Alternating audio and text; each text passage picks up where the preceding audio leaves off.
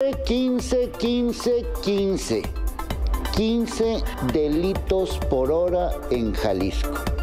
15 delitos por hora.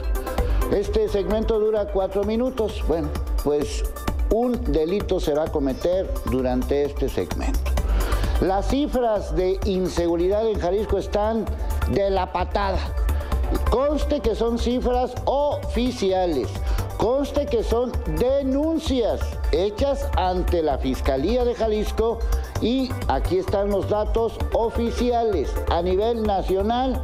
Jalisco, como pueden ver, durante el mes de noviembre, la cuarta entidad con más incidencia delictiva.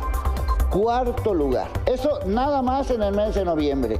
Y eso que en noviembre hubo una ligera baja de delitos, ligera. Pero aún así, cuarto lugar de 32 entidades que hay en el país. A nivel de enero a noviembre de todo este 2021, Jalisco también está en cuarto lugar. 117.920. Eso equivale a 15 delitos por hora.